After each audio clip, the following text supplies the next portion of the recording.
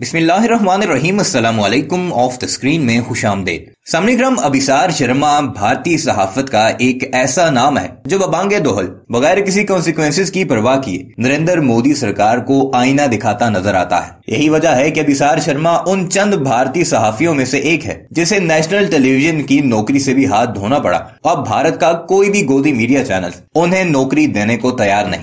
लेकिन फिर भी अभिसार शर्मा उसी तरह बबांगे दोहल काम भी कर रहे हैं। और नरेंद्र मोदी सरकार को उसकी औकात भी दिखाते नज़र आ रहे हैं। यानी ये कहा जाए कि भारतीय सहाफत के चंद सच्चे चेहरों में से एक सच्चा चेहरा अभिसार शर्मा है तो ये गलत ना होगा। अब अभिसार शर्मा ने आज से दो रोज कबल मारे जाने वाले भारतीय स्टूडेंट की मौत का जिम्मेदार नरेंद्र मोदी को करार दिया है, क्योंकि नरेंद्र मोदी सरकार दूसरे ममालिक की तरह अपने स्टूडेंट्स को वैक्यूएट करने में कामयाब नहीं हुई। आगे चलकर इसी वीडियो में आपको अभिसार शर्मा की जुबानी नरेंद्र मोदी सरकार के उन मंत्रियों की भी बातें सुनाएँगे, जो अब सारा मलबा स्टूडेंट्स पर डालते नज़र आ रहे हैं और घटियापन की इंतहा देखें कि ये कहते नज़र आ रहे हैं कि ये तो वो स्टूडेंट्स हैं जो भारत में इम्तिहान फेल करके बाहर को भाग जाते हैं। यानी नरेंद्र मोदी के मंत्री, इन स्टूडेंट्स को भारतीय मानने तक को तैयार नहीं। बात की जाए नरेंद्र मोदी साहब की, जिन्हें इस वक्त उन यूरोपीय ममालिक की जिनकी वो चमचागिरी करने में सबसे आगे नज़र आते हैं उनके प्रेसिडेंट या प्राइम मिनिस्टर से बात करके अपने स्टूडेंट्स को इवेकुएट करवाना चाहिए।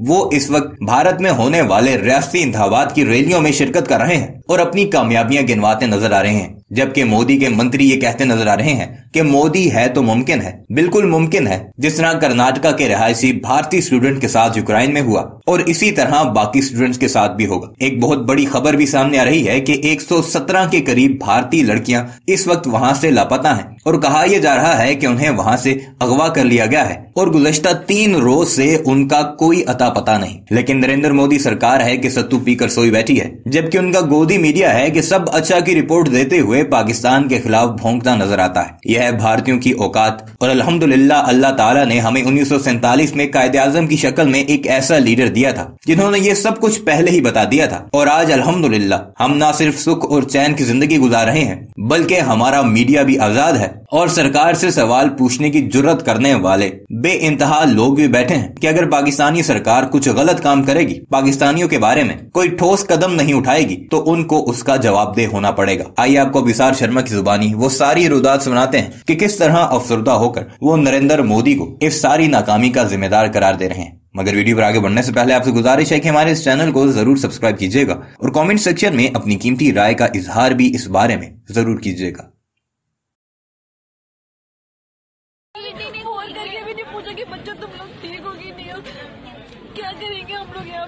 आजमान बहुत उदास है। सिर्फ़ इसलिए नहीं क्योंकि रूस की बमबारी में हमारे छात्र नवीन कुमार की मौत हो गई, जो टक्कर रहने वाला था। बल्कि इसलिए कि हर गुजरते दिन के साथ वहाँ फंसे अठारह हज़ार भारतीय बच्चों की बेबसी सामने उभर कर आ रही है। और हमारी पॉलिटिकल बिरादरी उससे पूरी तरह से महरूम है। पूरी तरह से अनभिज्ञ है।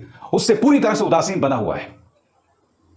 मैं आपको बतलाऊँगा कि एक ऐसे वक्त जब पहले भारतीय विद्यार्थी की मौत रूसी बमबारी में हुई है मैं आपको यह बतलाने वाला हूँ कि हमारा पॉलिटिकल क्लास हमारी सत्तारूढ़ पॉलिटिकल पार्टी क्या बातें कर रही है और किस जहान में है? सबसे पहले मैं आपको बताना चाहूँगा कि दरअसल यह घटना हुई कैसी? एनडीटीवी के मुताबिक आपके स्क्रीन पर। युद्ध प्रभावित यूक्रेन में एक भारतीय स्टूडेंट को जान गंवानी पड़ी है। यूक्रेन में बमबारी में एक भारतीय छात्र की मौत हो गई। विदेश मंत्रालय ने इसकी पुष्टि की है। आप देख सकते हैं विदेश मंत्रालय के प्रवक्ता अरिंदम बागशी का यह ट्वीट जिसमें उन्होंने नवीन कुमार की मौत की पुष्टि की है और उन्होंने कहा कि अब हम परिवार के साथ संपर्क में हैं। और परिवार के साथ हमारी पूरी सहानुभूति है। आगे एनडीटीवी क्या कहता है? कर्नाटक के हावेरी के इस भारतीय स्टूडेंट की मौत उस समय हुई जब रूसी सैनिकों ने मंगलवार को एक सरकारी बिल्डिंग को विस्फोट कर उड़ा दिया। खारकिन में स्टूडेंट कोऑर्डिनेटर पूजा महाराज ने बताया कि जान गंवाने वाला छात्र नवीन खाना लेने बाहर गया था। खारकीव में फाइनल ईयर के मेडिकल स्टूडेंट पूजा महाराज ने भारतीय छात्र की मौत के कुछ देर बाद एनडीटीवी से बातचीत में बताया।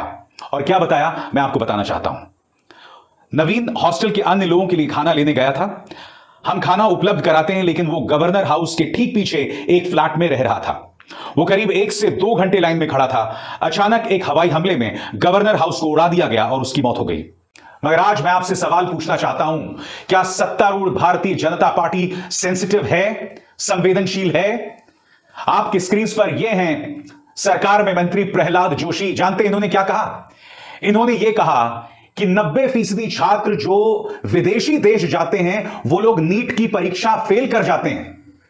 सबसे पहले प्रहलाद जी मैं आपसे पूछना चाहता हूँ, क्या ये वो वक्त था जब आप ये कहें कि जो 90 फ़ीसदी छात्र वहाँ जाते हैं, वो फेल कर जाते हैं नीट में, तब भी वो वहाँ पर जाते हैं?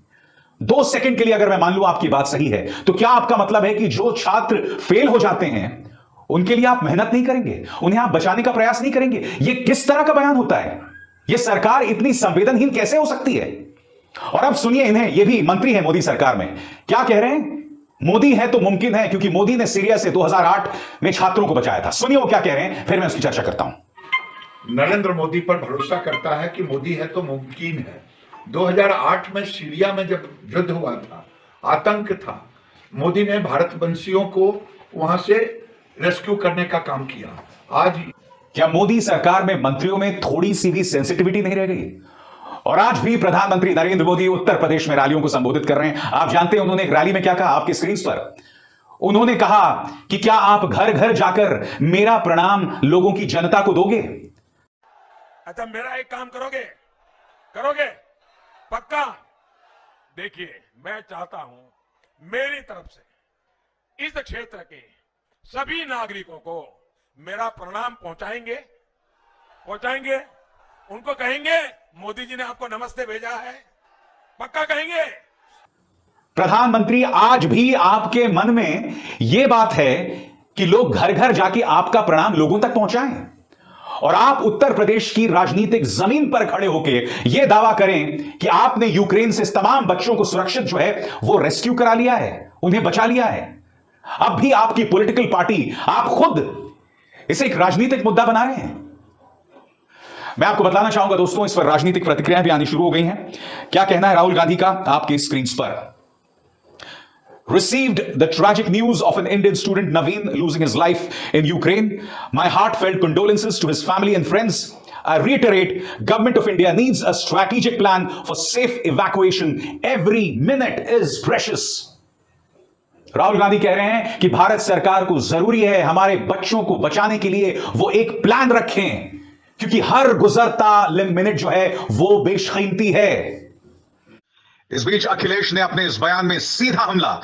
भाजपा सरकार पर बोल दिया है, बकौल अखिलेश यादव, इस सरकार के पास चुनाव प्रचार का वक्त है, मगर हमारे बच्चों को बचाने का वक्त नहीं। यानी कि सीधा हमला, प्रधानमंत्री मोदी पर।